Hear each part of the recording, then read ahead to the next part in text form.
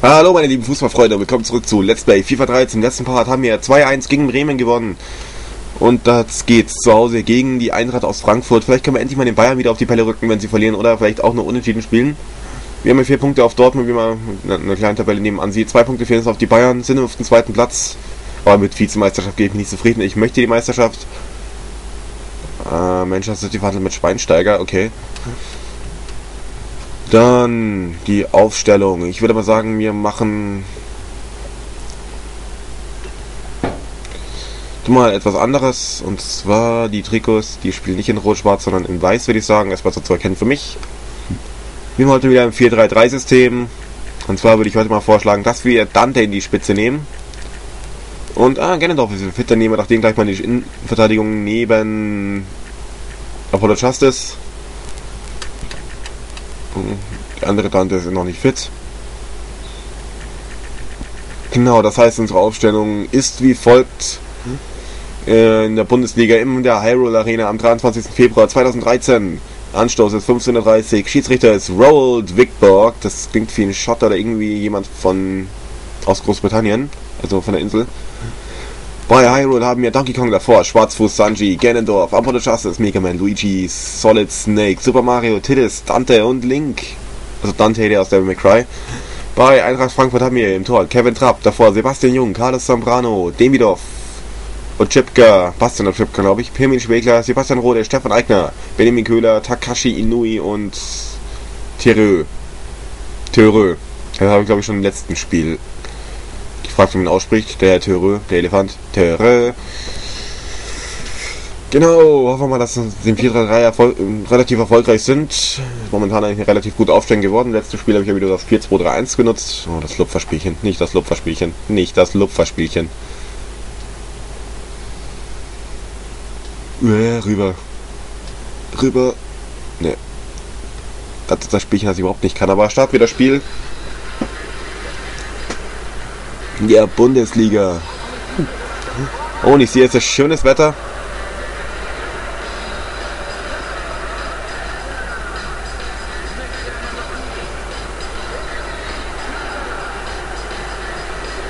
Schöner Tag in Hyrule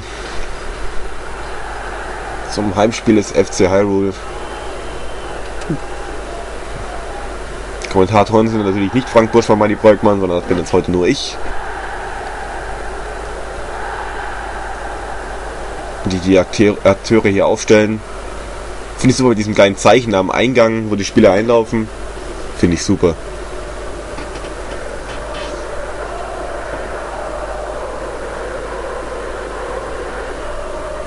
Schiedsrichter ist Roald Wickbrock aus Norwegen. Okay, da habe ich mich mal total verschätzt. Ist auch eine Halbinsel. Skandinavien. Nehmen wir mir das an. Seitenwahl scheint an Hyrule gegangen zu sein. Der bei den Kapitäne Link und. Ah, schlag mich tot. Schwegler. Da nochmal die Tabelle. Bayern mit zwei Punkten vor Hyrule. Frankfurt scheint nicht so gut dazustehen. Auf jeden Fall nicht in der oberen Tabellenhälfte, aber vielleicht ja dann unten relativ gut dabei. Mal sehen wir Edger für 12 Ligatoren schon. Link aber besser mit 18. Hat ein Drittel, hat, nee, hat 50% mehr davon. Hier nochmal die Aufstellung. Hier sehen wir Frankfurt, die spielen glaube ich im 4-2-3-1. Anderson, Ocean, Hoffer, das sind auch gar nicht so viele Leute auf der Bank. Genau, Sturmspitze ist Theorie alleine, dahinter aber Inui, der ist auch nicht schlecht. Da der Keeper Kevin Trapp bei Frankfurt. Die Torfabrik der Bundesliga. Und Anstoß für Frankfurt in diesem Fall. Weiter Rückpass, Demidov. Spielaufbau bei Frankfurt. Stefan Eigner, der gekommen ist von 60 München. Aber jetzt Ballverlust bei Frankfurt. Snake raus, rechte Seite, Tillis. Geht dann steil. Flankt. Auf Link. Der Kopfball viel zu. Ja, parallel zur Grundlinie. Und nochmal der Kopfball. Pfosten in Pfosten von, ich glaube, Link oder Dante war das. Ich, kann, ich konnte ihn nicht genau erkennen, aber es müsste Dante gewesen sein. Link dreht nochmal ab. Der Pass auf Dante kommt nicht an. Aber furiose Anfangsphase. Gleich zwei gute Chancen hier für Hyrule. Einmal dieser Kopfball von Link, der nicht wirklich Richtung Tor kommt, weil auch der Winkel einfach zu spitz war. Zum anderen dann dieser Kopfball von Dante, der an den Innenpfosten geht. Ich hoffe, oder ich denke mal, dass es Dante war. Und jetzt wieder Ballbesitz bei Hyrule. Frankfurter Angriff gut abgefangen. Link verliert den Ball. Wird aber jetzt wieder geschickt auf der linken Seite. Schön gespielt. Ja, aber der Ball für Tillis kommt nicht. Kommt nicht an, wird abgefangen. Demidov, Rode. Bastian Rode gibt ja Gerüchte, dass der zu den Bayern wechseln soll. Oder war schon er? Oder war das jung? Ah. Weiß ich nicht. Köhler. Oh, Köhler hat sich verletzt. Bittere Sache. Das heißt, Frankfurt muss schon wechseln. Jetzt kommt Alex Meyer. Auch kein schlechter Spieler. In Frankfurt dann, glaube ich, relativ gute Rolle gespielt vergangene Saison. Also 12, 13 ist ja schon vergangene Saison. Eigner, die Frankfurt im Spiel bemüht, das Ding ins Telefon, ein Moment.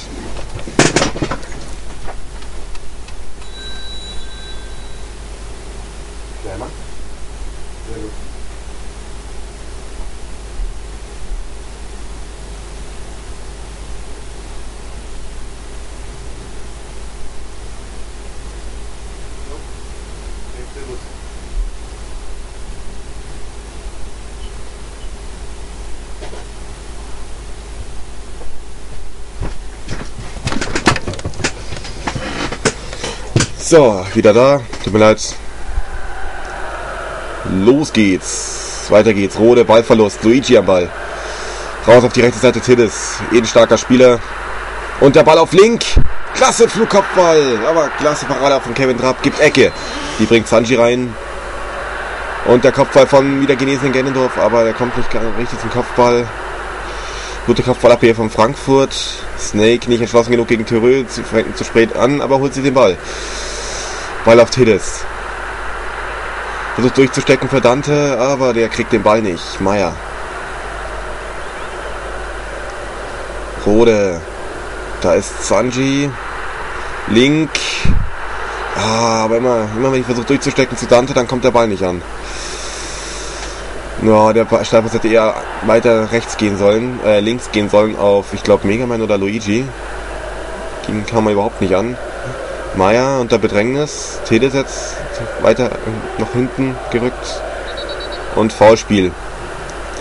Gennedorf beschwert sich da, aber währenddessen macht Frankfurt den Freistoß schnell. Sanji hinten verfolgt den Gegenspieler.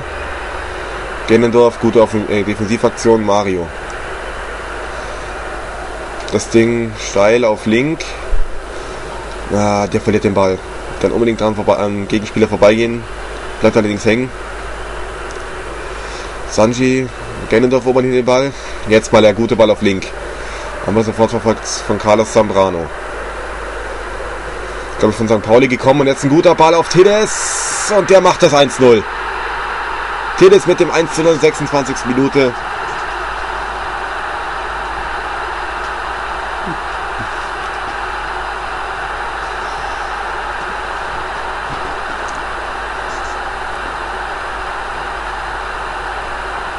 Schön angenommen, mitgenommen und dann am Keeper vorbeigelegt. 1-0 für Hyrule. Damit wieder dran an den Bayern. Auf jeden Fall nicht weiter weg. Ich weiß momentan nicht, wie die Bayern spielen. Ich weiß gar nicht, ob die parallel spielen. Das irgendwie zeigt es nicht mehr so an im FIFA 13. Finde ich relativ schade. Gut ist gut, finde ich, dass, dass man jetzt ausschalten kann, was man sehen kann. Aber ich finde schade, dass es zum Teil gar nicht mehr angezeigt wird. Also da weiß ich nicht, ob es EA verkackt hat oder ob es da irgendwie Hat habe ich da doch wieder alles ausgeschaltet. Bei mir schaltet sich irgendwie immer alles ab, aber ich habe keine Ahnung warum. Oh, guter Ball auf Link. Und auf Tiddes. Oh, und vorbei. Zu knapp vorbei dieser Ball. Ah, da rutscht er rein und erwischt den Ball nur mit dem Außenriss und kommt nicht wirklich hin. Schade. Schöne Chance hier für Hyrule zum 2 zu 0. Dante, der noch relativ blass geblieben ist, besetzt. Aber nicht so schlimm, nachdem ich 1-0 führe, aber das soll sich natürlich nicht ändern. Ja, wohl immer, wenn ich sage, dann fällt das 1-1. Male ich jetzt meine Teufel nicht an die Wand, sondern spiele weiter offensiv nach vorne. Snake. Jetzt mal, schöner Ball in die, äh, in die Schnittstelle der Abwehr. Dante. Raus auf die rechte Seite, Tiddes. Flankt das Ding rein. Link. Kopfballabwehr. Inui. Ja, verliert den Ball, aber Frankfurt kann den Ballbesitz behaupten. Pirmin Schwegler über Rode. Ja, Ball kommt zu weit. Gennendorf fängt ab. Dante. Dante. Wie er wird in Devil May Cry. Dante. Mega Man. Sieht zentral Snake. Jetzt erstmal lang, ruhiger Spielaufbau bei Hyrule. Spielt vielleicht ein bisschen mehr ruhigen. Sanji. Tidis. Der Pass war nicht dahin, wo ich ihn haben wollte. Ich drücke nach vorne und er passt irgendwo nach hinten. Oder ich habe meinen Stick nach vorne, also meinen Control, Control Stick. Pimin Schwegler. Luigi hilft, hilft damit. Gennendorf dabei. Sanji hat ihn. Luigi. Link. Ja, passt wieder, bleibt wieder hängen. Aber Gennendorf gut mitge mitgearbeitet. Gemacht, ein guter Ball auf Tedes. Zieht ab. Abrala landet dann bei Luigi. Das 2 zu 0 in der 43. Minute, das war schön gespielt. Tiddes fängt ab. Dann kommt, ich nehme an, mal Dante, oder? Kommt da dran. Gucken wir uns das nochmal an. Tiddes, dann kommt genau Dante hier dran, oder? Das will ich mal sehen. Ja, fällt um und kommt beim Rücken dran und dann fällt der Ball direkt Luigi vor den Fuß und der schiebt ein. Keine Chance für Trapp. 243 Minuten für Hyrule. Diesem Heimspiel.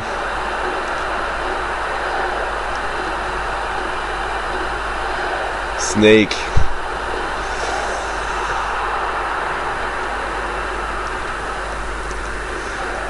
Ball bei Mario. Raus auf die linke Seite zu Link.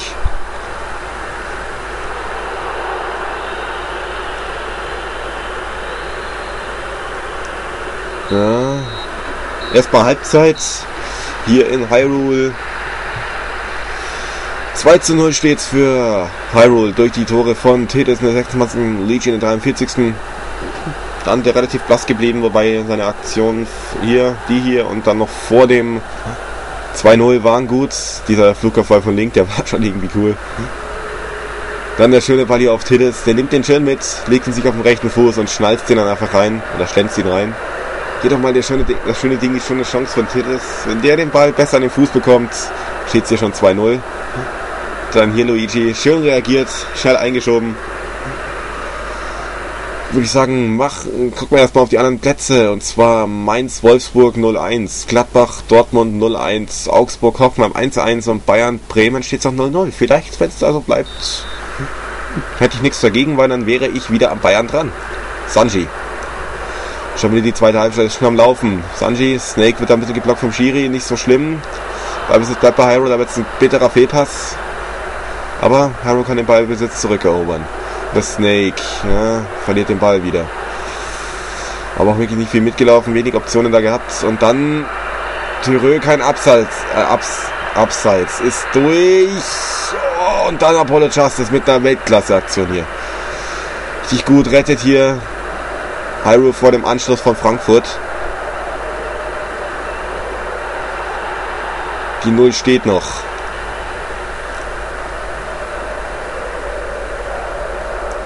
Chipka wird von Tidis verfolgt. Ja.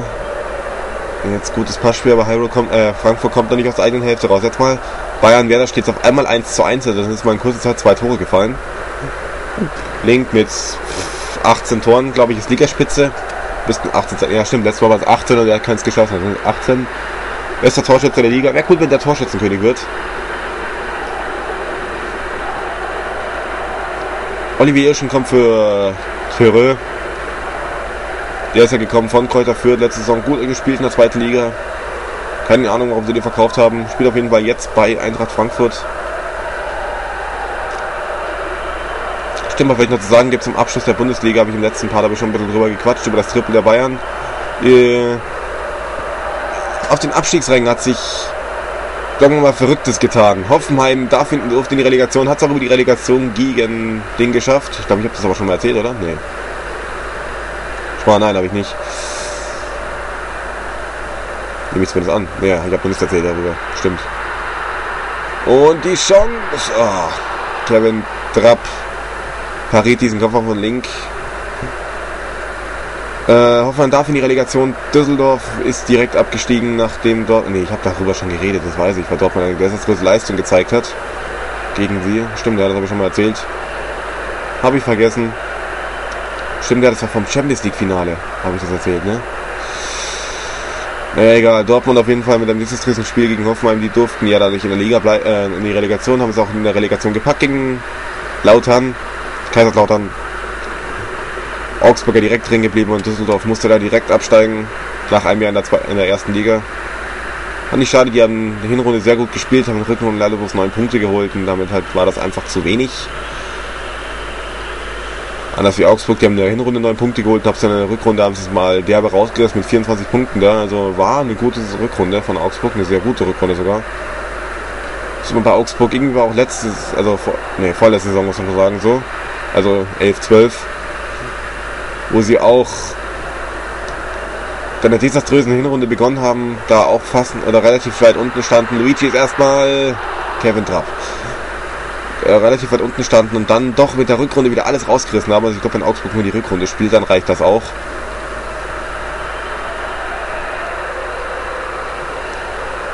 Das ist nun wieder zu dem aktuellen Spiel hier in der virtuellen Bundesliga.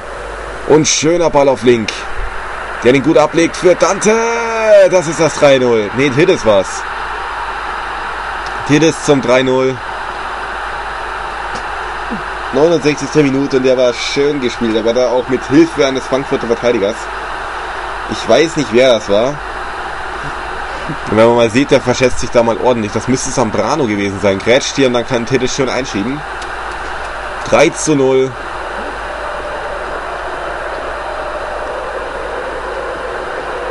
Könnte schlimmer sein.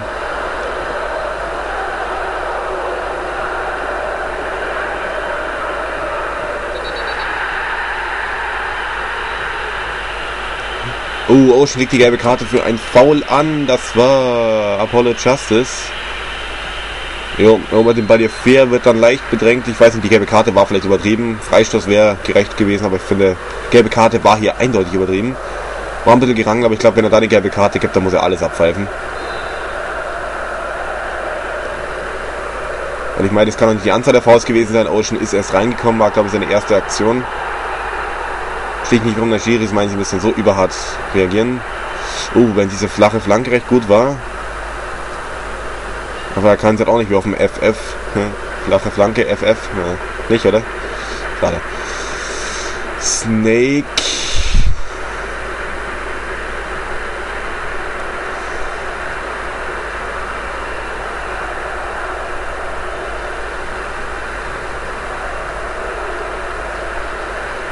Frankfurt jetzt mal lange, Ball, lange in der Ball eine offensive Eigner, aber verliert den Ball gegen Mario.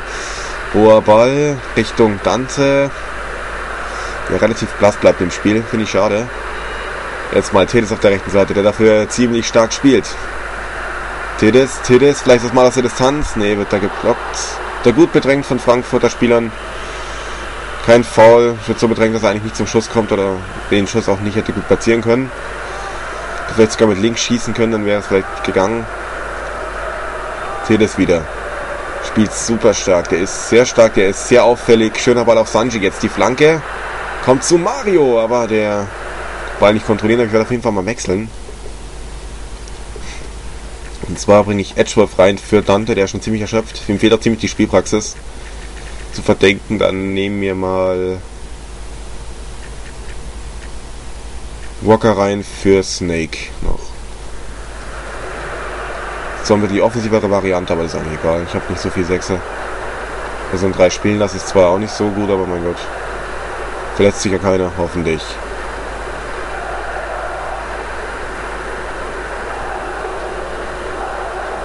Im Teufel hier nicht an die Wand mal, ne? Luigi. Snake. Schöner Ball auf Dante. Teles, auf einmal kann Dante richtig Fußball spielen, wo ausgewechselt werden soll. Gab es ja schon mal bei der EM 2012. Gomez sollte ausgewechselt werden und macht dann sein Tor gegen Portugal. Durfte dann noch ein bisschen länger spielen, wurde dann letztendlich doch ausgewechselt.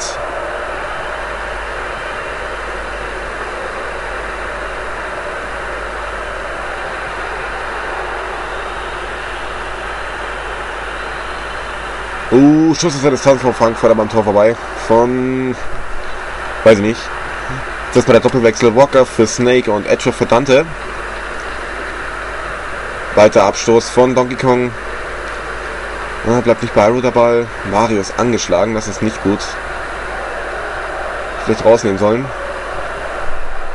Wobei, wenn es wirklich schlimm ist, dann habe ich ja noch. Dann muss ich ja wieder das System wechseln. Donkey Kong hat den Ball. Wirft weit ab. Lanik, nee, vor Dingen, aber das Spiel ist aus. Harrow gewinnt 3-0 in Frankfurt. Nee, gegen Frankfurt. Von Heimspiel. Durch Tore von Tedesson in der 26. Luigi in der 43. und nochmal Tedesson in der 69.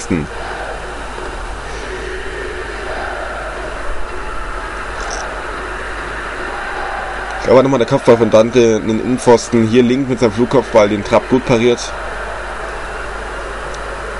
Geht nochmal das klasse Tor von Tillis zum 1 zu 0. Hätte Tillis schon das 2 0 machen können, kommt ganz blöd an den Ball. Kann passieren. Dante hier mit dem Rücken auf Luigi. Ich weiß nicht, wer den Assist bekommen hat. Aber an sich an den, Ch an den Chancen war ich klar die bessere Mannschaft. Ich weiß nicht, ob Frankfurt wirklich eine gute Torchance hatte.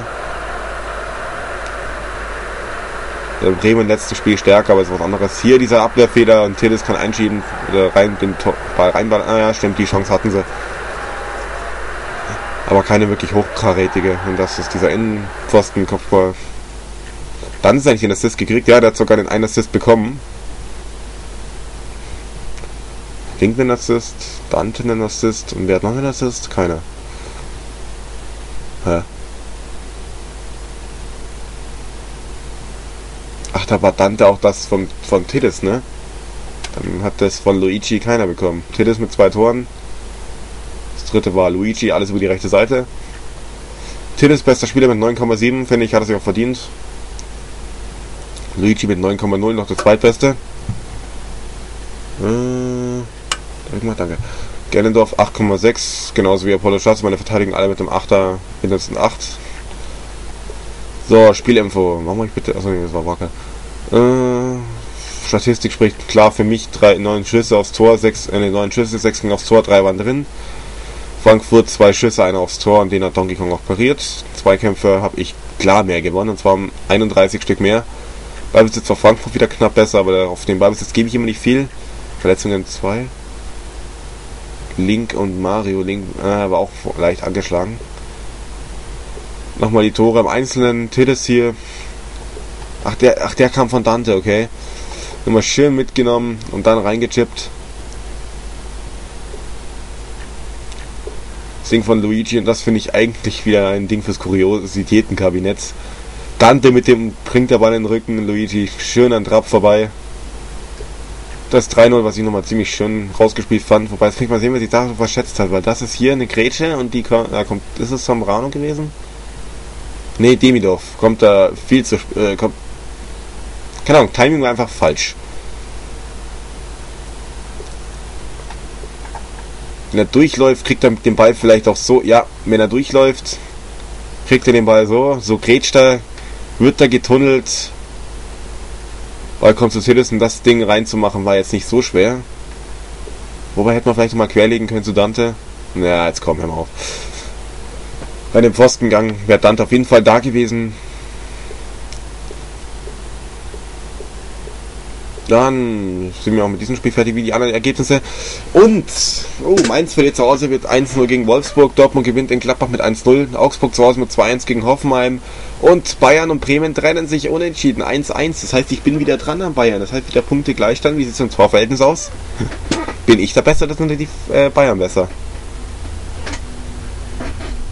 Da bin ich besser, das heißt mit 56 Punkten bin ich wieder der Top, äh, der Spitzenreiter. Wenn ich wieder Tabellenführer der Bundesliga, die 11. Woche. Mir Sven Ulreich von Stuttgart, Panda von, Ho äh, von Hannover, Phoenix Wright vom FC Bayern, der gewechselt ist. Francesco Rodriguez von Stuttgart, Philipp Lahm von Bayern. Äh, ist da irgendwer von mir dabei? Ja, Luigi von Hyrule und Link.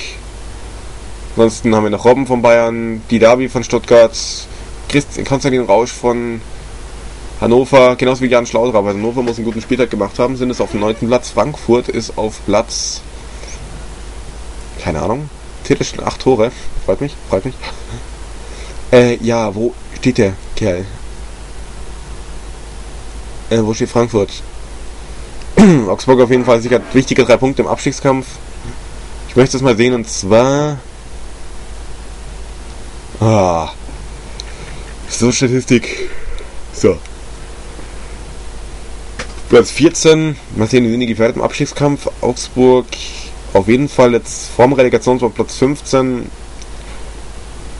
Frankfurt, ja, könnte gefährdet werden. Genauso wie Bremen und Nürnberg könnten noch guten Abstiegsrudel rutschen.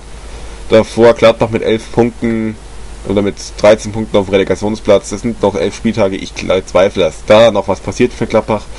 Mal gucken, wann eigentlich wieder mal Pokal ansteht.